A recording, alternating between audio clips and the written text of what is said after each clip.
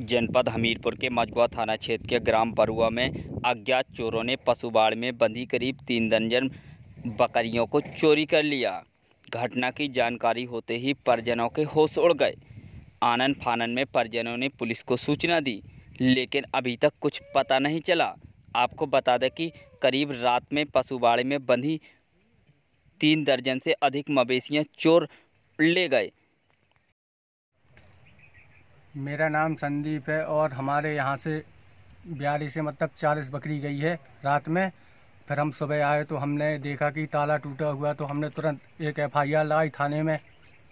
उसके बाद फिर और अगल बगल गाँव में भी गए लेकिन कुछ अता पता नहीं चला। कितने समय लगभग ये चोरी हुई है बकरियों की? कम से कम नाइट में वही बारह एक के बीच में।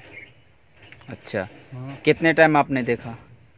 हमने सुबह देखा वो पाँच छः बजे आके। तो सुबह लेटरिन करने आए तो देखा कि यहाँ और सब गेट टूटा हुआ था और ताला भी तो यहाँ एक भी बकरी नहीं थी और वहाँ से गेहूँ भी काटा उन्हें खिलाया। अच्छा किस गाँव का मैटर है ये? ये ग्राम बरुआ का है। हमीरपुर से यूपी ट्वेंटी फोर न्यूज़ के लिए जिला संवाददाता जयशंकर त्रिपाठी की रिपोर्ट।